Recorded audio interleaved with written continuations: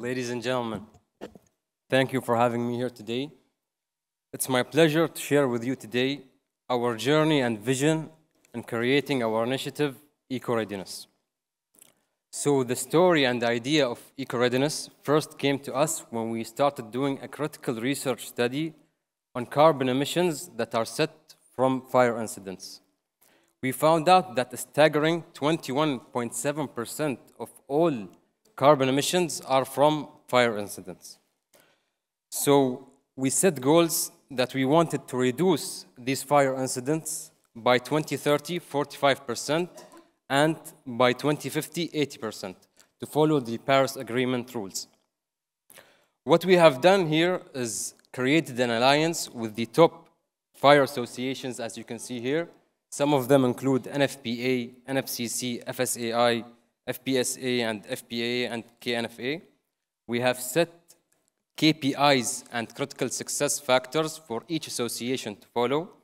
As you can see here, maybe for NFPA, they have their own KPIs that they can follow, and we measure how much they have achieved of these KPIs.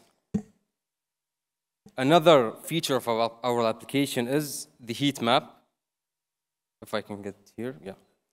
We can see the carbon emissions set from each country. It is, it is measured by the use of AI. We can go to each country and each continent, and we can see how much carbon emissions are set from this country that are caused by fire incidents. In this way, we have done a SWOT analysis for each continent itself.